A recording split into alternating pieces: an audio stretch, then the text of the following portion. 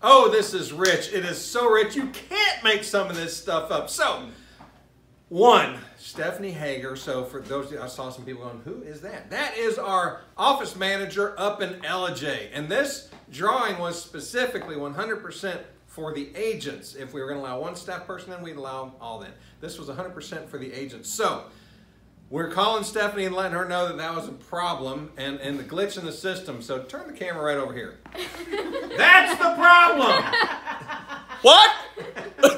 okay. So I've got Sarah Stovall here.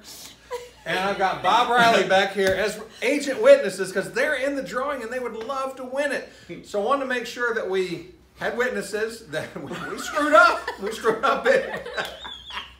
Can't make it up. So Lauren, Lauren, let's get into Lauren, it. Lauren, Lauren, Lauren, Lauren. Lauren. Here's who wins the actual Traeger grill, or who's here's who actually wins the Traeger grill. And we go to Lisa Cushman from Gross the Home Grove Home Green Team. Lisa Cushman, won the Traeger grill. Great job. Sorry about that.